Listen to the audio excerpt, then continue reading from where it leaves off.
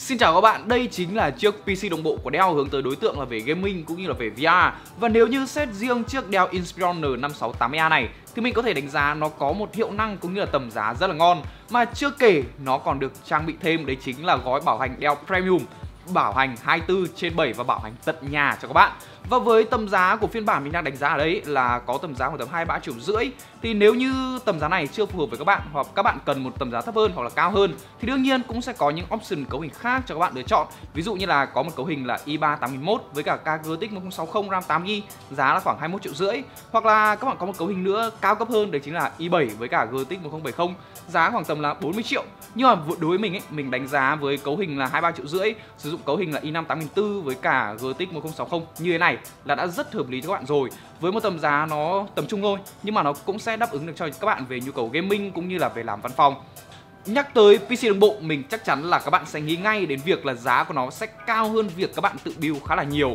Và với mẫu Dell Inspiron N568A này thì nó cũng không ngoại lệ đâu. Nếu như trong tầm giá là 23 triệu rưỡi, Mình tính thử là với i5 8400 GTX 1060 3GB RAM 8GB kèm với đó là Windows 10 Home bản quyền, Thì nó sẽ đắt hơn việc các bạn tự build là đâu đó khoảng tầm 10% Nhưng mà theo mình đánh giá, cái khoảng 10% này nó vẫn đáng để cho các bạn lựa chọn Dell Inspiron N568A Bởi vì sao?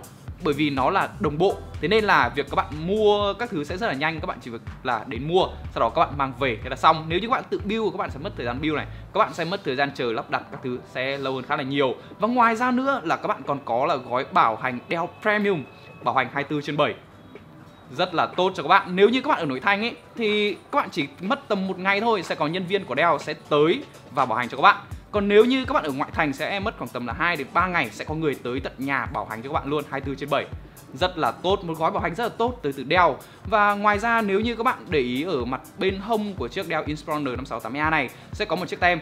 Thì uh, các bạn đừng ngần ngại việc tháo nó ra nhé sẽ không mất bảo hành của các bạn đâu. Và khi các bạn tháo ra thì mình nghĩ là việc đầu tiên các bạn nên nâng cấp đấy chính là một chiếc SSD bởi vì ổ cứng tích hợp của nó là ổ HDD 1TB có thể là dung lượng nó rất là nhiều nhưng mà với HDD thì các bạn dùng với Win 10 các bạn biết rồi đấy. Nó sẽ có lỗi full disk cực kỳ khó chịu nó rất là giật lag các thứ. Thì mình nghĩ là một ổ SSD hoặc là các bạn nâng thêm một ổ Intel Optane sẽ là một sự lựa chọn tốt hơn cho các bạn.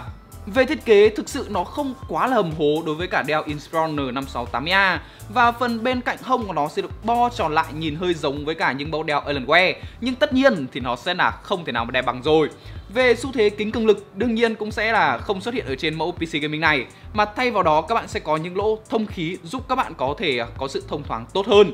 Điểm này mình đánh giá rất là cao đối với cả Dell Inspiron N5680 bởi vì nhìn mặt thông thì các bạn sẽ thấy là những lá gió này nó sẽ được thiết kế theo kiểu là hắt gió lên và nó vừa làm thoáng, nó vừa đẩy gió lên thì nó sẽ tránh tình trạng là gió thì gió nóng ấy sẽ thổi vào tay các bạn chơi game sẽ rất là khó chịu ấy.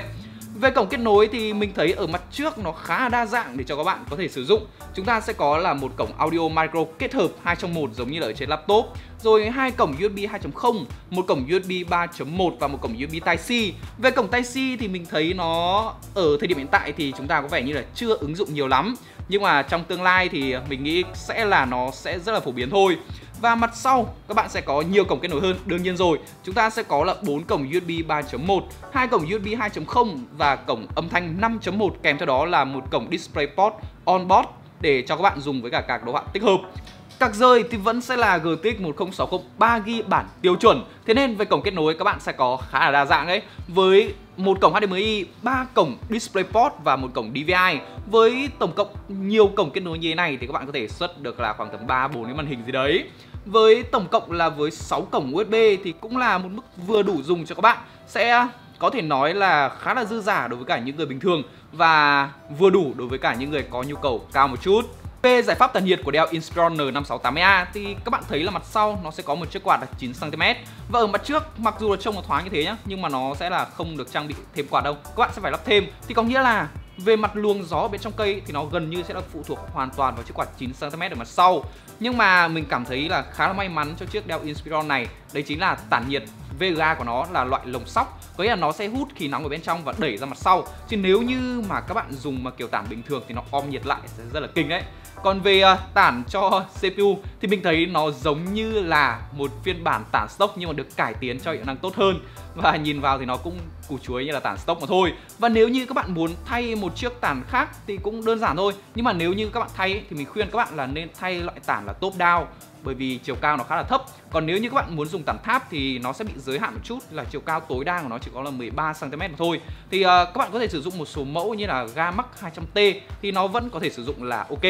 Bên trong đeo Inspiron N568A thì nó được tiếp cận khá là dễ dàng Chỉ cần các bạn tháo hai con ốc ở mặt sau Thế là các bạn đã mở được rồi. Và về mặt linh kiện thì nó được sắp xếp cũng như là đi dây ở mức là trung bình mà thôi. Về điểm cộng thì nó sẽ là gọn gàng và dễ tiếp cận với những chỗ cần nâng cấp. Việc nâng cấp của các bạn thì uh, mình sẽ phải nhắc lại Đấy chính là các bạn gần như bắt buộc phải mua thêm một ổ SD hoặc là Optane Riêng với ED 2.5 hoặc là HDD thì nó khá là dễ và đã có dây chờ sẵn để các bạn cắm rồi. Còn với ổ Optane hay là ED NVMe thì nó sẽ là hơi khó khăn một chút bởi vì các bạn sẽ phải tháo cả các đoạn ra thì các bạn mới có thể cắm được.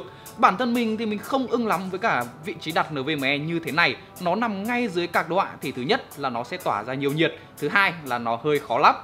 Và ngoài ổ cứng và tản nhiệt, các bạn hoàn toàn có thể nâng cấp thêm với 3 thanh RAM nữa. Có nghĩa là nó mới chỉ dùng một thanh RAM thôi và nó còn chống đến 3 khe nữa thì các bạn có thể nâng cấp một cách rất là thoải mái. Và dung lượng tối đa là 32 GB Nguồn sử dụng ở đây là được đeo thuê OEM và không có thông tin nào chính xác, ngoại trừ việc công suất của nó là 460W và đạt chuẩn 80 Plus Bronze. Mainboard thì mình thấy khá là khó hiểu khi chipset của nó là Z370 nhưng mà CPU lại không có khả năng là ép sung và các cổng kết nối thì đa phần đã được lấp đầy hết rồi và chỉ còn dư lại duy nhất là một khe PCI Express X4 để các bạn có thể lắp cả Wi-Fi mà thôi. Và hai khe SATA nếu như các bạn cần lắp thêm ổ cứng. Card đoạn của nó là GTX 1060 3GB, nó cũng không rõ là do hãng nào OEM, nhưng mà với mức dung cơ bản giống như là bản Founder Edition cùng với cả hệ thống tản nhiệt lồng sóc thì mình nghĩ là nó sẽ không đủ khả năng để làm cho mình bất ngờ đâu qua thử nghiệm với những tựa game cơ bản thì có vẻ như là nó không gặp khó khăn gì với những tựa game ở độ phân giải là Full HD. Với một hệ thống như thế này thì tốt nhất là các bạn nên trang bị cho mình một chiếc màn 144Hz Full HD chứ không nên sử dụng màn 2K bởi vì một phần là do VRAM của GPU này khá là ít là chỉ có 3GB mà thôi. Khi mình chiến thử PUBG ở trong khoảng tầm là 15 phút thì mình thấy là nhiệt độ của CPU nó chỉ tầm là 57 độ mà thôi. Có nghĩa là nó khá là mát. Còn GPU thì nó lại khác, nó chạm tới gần 80 độ cơ có nghĩa nó khá là nóng rồi. Thì điều này mình thấy nó cũng khá là dễ hiểu thôi. Bởi vì dù sao PUBG nó cũng ăn GPU rất là nhiều. Còn CPU nó lại ăn khá là ít. Thế nên là việc nhiệt độ như thế này thì à, nó khá là dễ hiểu. Và khi mình sử dụng IDA 64 để stress, thì nhiệt độ của CPU nó ngay lập tức là chạm ngưỡng là 80 độ. Thì điều này chúng ta có thể giải thích đấy chính là do là cái airflow cũng như là cái cái điều hòa luồng gió ở trong vỏ cây thì nó chưa thực sự tốt lắm. Tổng kết lại chúng ta sẽ có gì khi mua Dell Inspiron N568A? Mình phải nói thực sự là Dell đã build cho chúng ta một cấu hình gaming rất là có tâm, Đấy chính là khoảng tầm 2-3 triệu rưỡi. Dell đã build cho chúng ta một cấu hình là i5 với cả GTX 1060 Chứ không phải là một cấu hình gaming mà lại dùng i7 với cả GTX 1050 thì à, nghe nó hơi chuối đúng không? Nhưng mà cấu hình như này mình nghĩ nó đã là rất là ổn rồi. Về mức giá thì nó có thể nó đắt hơn là việc các bạn tự build, Nhưng mà bù lại các bạn sẽ có, đấy chính là về, Nó là đồng bộ thế nên các bạn mua rồi là về dùng các thứ rất là nhanh. Rồi ngoài ra nữa các bạn còn được support thêm, đấy chính là gói bảo hành tận nhà Dell Premium bảo hành 24 trên 7 rồi ngoài ra nữa, đây chính là nó có thể đáp ứng cho các bạn việc chơi game ở độ phân giải Full HD những tựa game offline nặng nhá. Các bạn cũng có thể chơi ở thiết lập là khá là cao rồi. Còn nếu như với những tựa game esports thì nó quá là đơn giản để chiếc Dell Inspiron này có thể cân được. Và ngoài ra thì mình thấy với mẫu Dell Inspiron N5680A này thì Dell cần có một vài điểm cải tiến. Thứ nhất, đấy chính là về cái tản nhiệt cũng như là về luồng gió ở bên trong cây. Mình thấy nó chưa được ổn lắm, mình nghĩ là ở thế hệ sau, nếu như đeo cải tiến được điều này thì nó sẽ là cực kỳ tốt dành cho đeo.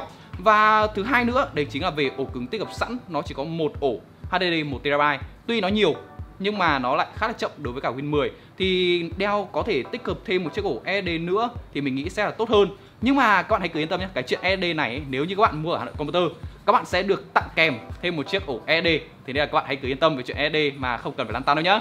Và ý kiến các bạn như thế nào thì hãy comment phía bên dưới nhá. Còn bây giờ xin chào và hẹn gặp lại.